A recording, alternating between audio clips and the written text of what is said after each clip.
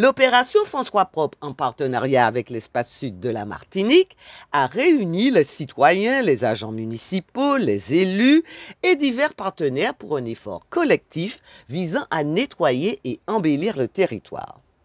Mercredi 11 octobre, dès 7 heures du matin, le parking du stade municipal s'est transformé en point de ralliement pour tous ceux qui désiraient contribuer à la propreté de leur ville.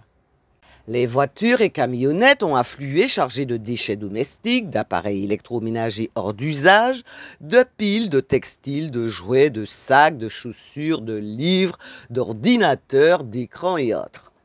Les agents municipaux du service environnement et cadre de vie et ceux de la brigade de l'environnement ont joué un rôle clé en guidant le public vers les zones de dépôt spécialisées.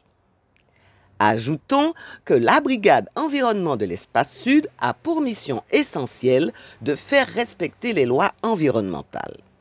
Elle surveille les sites naturels des communes et le littoral. Les contrevenants au code de l'environnement s'exposent à des amendes allant de 750 euros à 3500 euros. Mais l'espace sud joue aussi un large rôle dans l'éducation sur le tri des déchets. C'est d'ailleurs lui qui communique aux habitants les jours de passage des camions bennes.